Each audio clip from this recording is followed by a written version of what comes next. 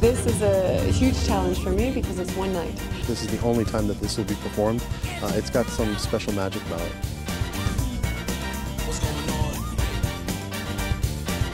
Our goal is actually to raise $3 million with that event. We're very close to actually building an entire project just with that one night.